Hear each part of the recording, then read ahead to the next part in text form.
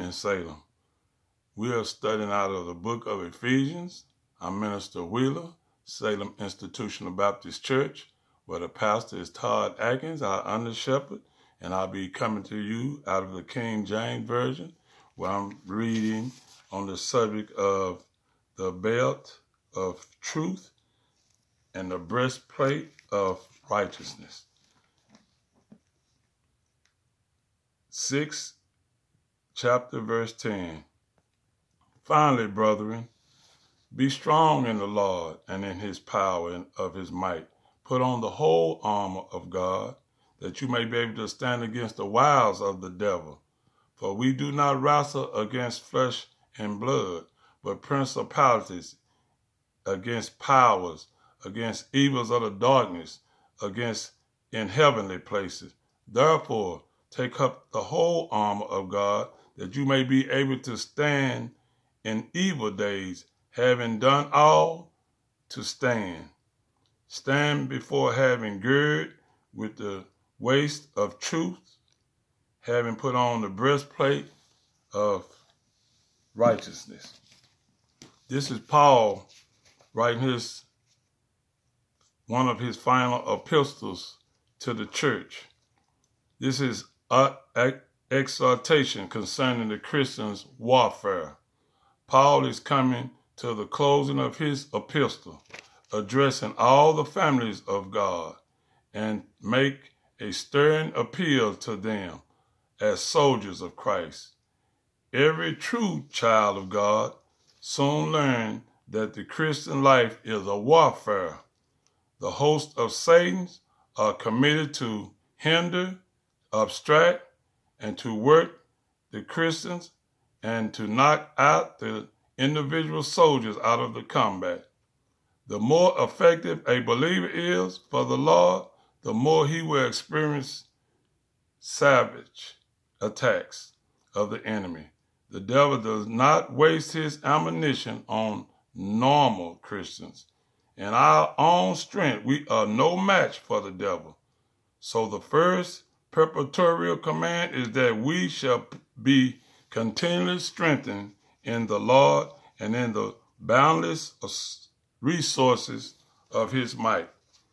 God's best soldiers are those who are consciously aware of their weaknesses and ineffectiveness and who rely solely on him.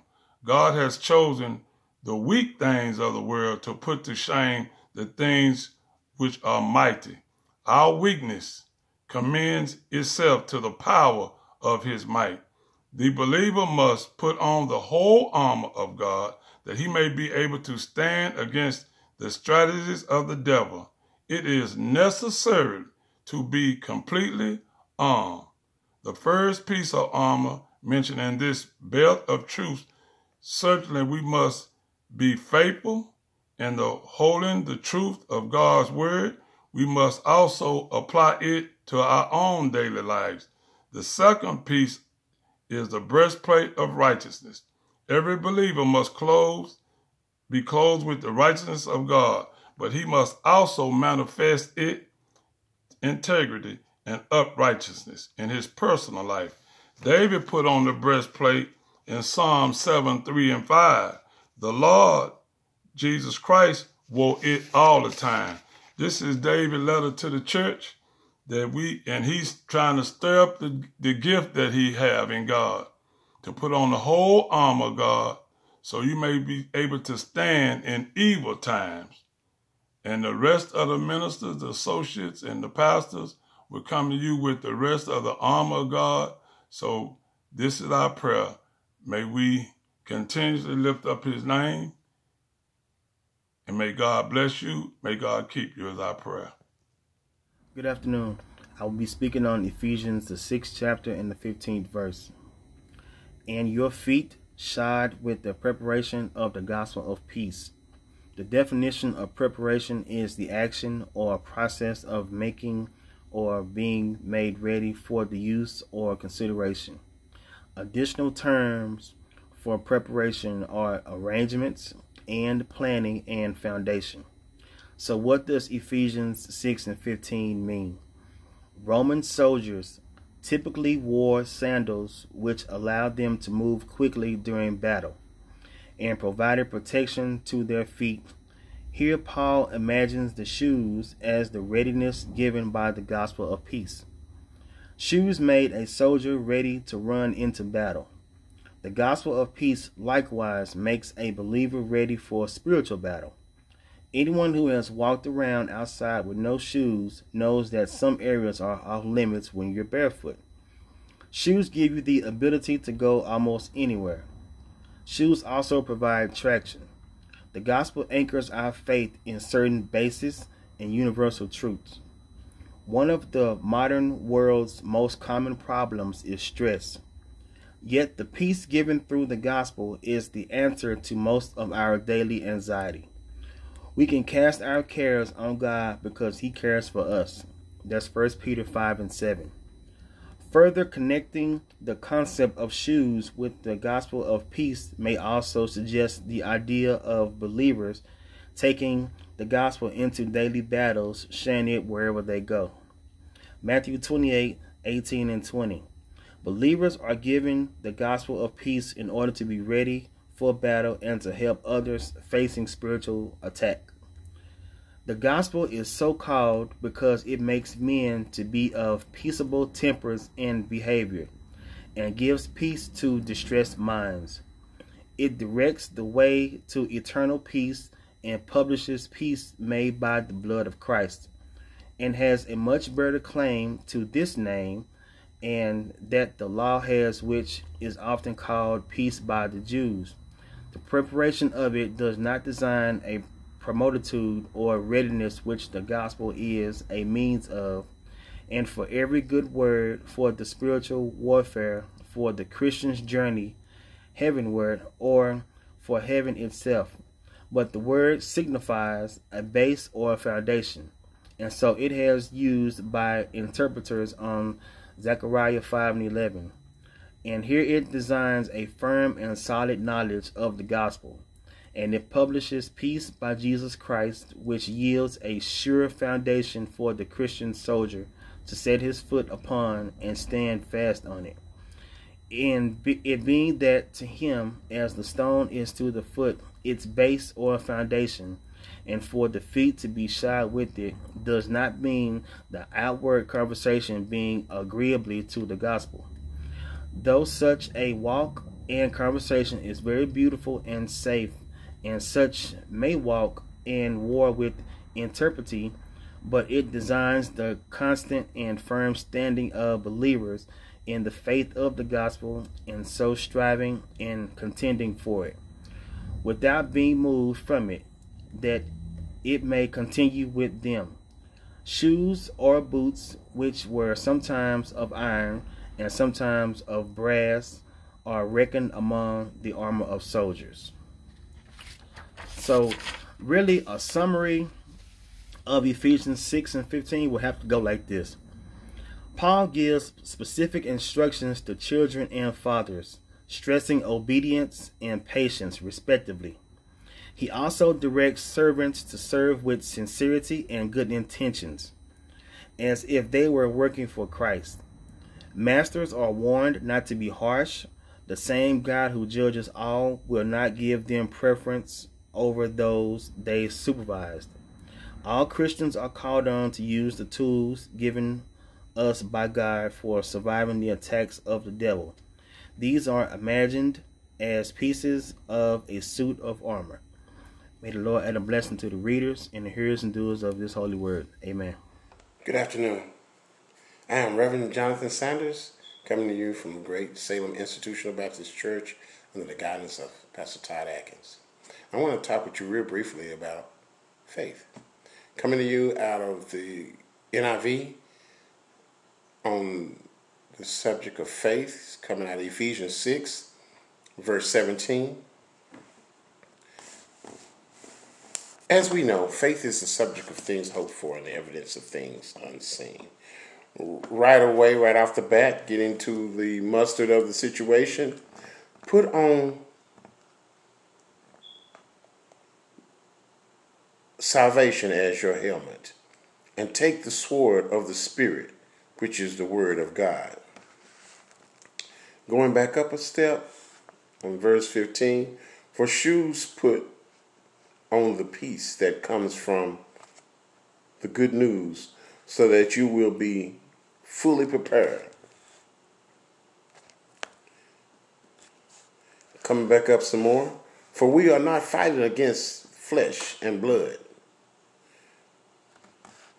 enemies, but against evil rulers and authorities of the unseen world, against mighty powers in the dark world, and against evil spirits in the heavenly places. Therefore, put on every place of God's armor so you will be able to resist the enemy in the time of evil. Faith, an assurance of salvation. In other words, to be very brief, when the darts of this world thrown at you that in their own fire, you need to have the assurance that God's word is what it is. We need to know that faith in Him can see us through. There were certain men in the Bible that exemplified great faith. Moses. What should I tell the Israelites, Lord, who has sent me? God, tell them I am that I am. The Israelites were at a rock and a hard place when the army of Egypt was after them. They didn't have any weapons or anything like that. They came to a sea.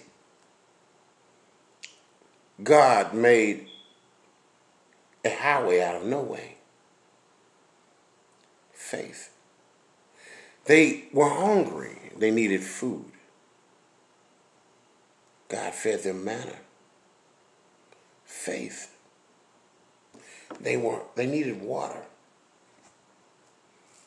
God commanded Moses to strike a rock. He gave them water. They didn't want any more manna anymore. They wanted some meat. He gave them quail. All of this from above.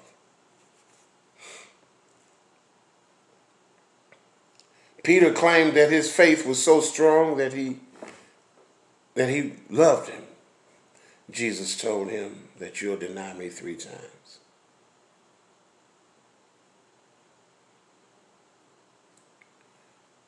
Faith is the substance of things hoped for, the evidence of things not seen. Daniel in the lion's den. Faith. Paul under his many, many trials. Psalms 31 and 13, David. Ephesians 6 and 16, Paul. Salvation. The definition of salvation preservation or deliverance from harm, ruin, or loss. Salvation is a lifeline. And that lifeline is Jesus Christ. Redemption is in salvation. Deliverance is in salvation. Healing is in salvation. And all of this is in faith. Hebrews 11 and 7. John, Paul, Luke, Abraham. 2 Corinthians 11, 23 and 28. Romans 1, 16. All of these areas are where I've given you that you can find areas and references of faith. As I come to my close, I'm going to read to you Hebrews 19. 10 chapter 19 verse. Therefore, brothers, since we have confidence to enter the most holy place by the blood of Jesus, by a new and living way opened for him as us through the curtains, that is his body. And since we have a great priest over the house of God, let us draw near to God with a sure, sincere heart, full assurance of faith. Faith is the belief in found and the found in Jesus Christ. Those of us as blood washed Christians, we have to sharpen our faith in Jesus Christ. I implore you, grab hold to that unchanging faith. This has been Jonathan Sanders under the guidance of Pastor Todd Atkinson, Salem Institutional Baptist Church. Thank you, and God bless. Good evening, family and friends. It is indeed a blessing and a privilege for me to come and share with you again from uh, a study that Pastor Atkins assigned to four of us. I am part of that group, that quad group, and my portion of the scripture comes from Ephesians chapter 6, beginning at verse 17, and it says, Take the helmet of salvation and the sword of the Spirit, which is the word of God. Pray in the Spirit at all times in every prayer and supplication. To that end, keep alert, and always persevere in supplication for all of the saints. Thank you, Pastor Atkins, for allowing me again to participate with the group as we study putting on the whole armor of God. I want to set the stage a bit because Paul is writing this letter to the church at Ephesus. And as he's writing this letter, Paul is uh, in prison in Rome. He's writing this letter because uh, after his uh, meeting, his meeting with Jesus Christ, you know, because before Paul was one of those persons who was persecuting the church, Paul has now come to an understanding that the church is very, very important. And, and he, he only gained this knowledge when he met Jesus Christ on the road to Damascus. That, that meeting, that encounter with Christ on the Damascus road changed Paul from being a persecutor of the church to being one who was building the church. So Paul, who has been a Pharisee all of his life, met Jesus on that road to Damascus and, and was converted there by the power of the Holy Spirit. And so Paul now has been building churches and Ephesus was one of the cities in which he spent uh, two years teaching the people there about Jesus Christ. And after Paul left the city uh, and went on further on his journey, uh, Apollos went into the city.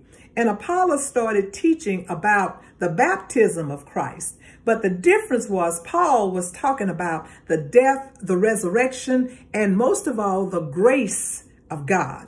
And he is saying that the people of Ephesus were Gentiles, but he's letting them know that whether you're a Jew or Gentile, we are all one in Christ Jesus. I felt like I needed to set that stage because when we talk about putting on the whole armor of God, uh, it's, it, it was telling the church that you will, because you are a Christian, you will encounter people who don't believe as you believe, people who will attempt to turn you away from the faith. But Paul is saying to them, and, and he's writing this letter, even though it was written specifically to the Ephesians church, he was writing this letter as a circular letter so that all of the churches could read this letter and come to understand that in order for you to be able to stand in difficult times, you needed to suit up. Paul being in prison, he had an opportunity to observe what the Roman soldiers looked like. And here he talks about putting on the helmet of salvation. And a helmet was used to protect the head. It was made out of metal and, and it was so, uh, because if the head gets out of order, the whole body loses its balance. So Paul is saying to the people, after he gives them all of these put on the breastplate of righteousness and have your feet shod with the preparation of the gospel of peace and, and the belt of truth around your waist, he ultimately says you need the helmet. Now, now, if you look at pictures of the Roman helmet, they were made so that the back of the head was covered so that if you got hit on the back of the head, you would be okay and you'd be able to resound, get up and go on. Or if it came all the way down to the side of the face, protecting the ears and what they would hear. You know why? Because it was protecting the brain. The brain, the seat of understanding had to be protected. We have to put on the whole armor of God in these times where People have walked away from God. People have stopped believing in God. And Paul is writing this letter to the church, but it is a letter that is effective even now because today we uh, feel often that we know better how to live our lives than than people my age or people in ages past are the people who built Salem Baptist Church. We know more about how to be the church by coming up with strategies and skills, but what we are taught here is that we need to put on the whole armor of God. We need to, to come to know who Jesus is and know the power of his resurrection. Know what it means to walk by faith and not by sight. I know that sounds, I often use that and I know I talk a lot about faith, but I want to tell you today, my sisters and my brothers, as I talk about putting on the helmet of salvation, that is what I've learned and put in my head about who Jesus Christ is. I've come to know that he is indeed the savior of the world. And it tells me that I need to put on this understanding. I need to know who Jesus is, not simply go on what someone else has told me me, but I need a clear understanding because the devil comes because Satan knows what our weaknesses are. He knows the loves and the desires and, and he comes to destroy. He will destroy your family. He will destroy your home. He will destroy your surroundings. He will try to destroy you unless you come to know who Jesus is. So my friends, when he says, put on the whole armor of God. It says, take this helmet of salvation, put it on your head, put on the understanding that Jesus Christ is love, and that put on the understanding that Without faith, it is impossible to please him. Put on the understanding that nothing is impossible with God. Put on the understanding that I can do all things through Christ who gives me strength. Put on the understanding that without God, I am nothing, but with God, I am all that God would have me to be.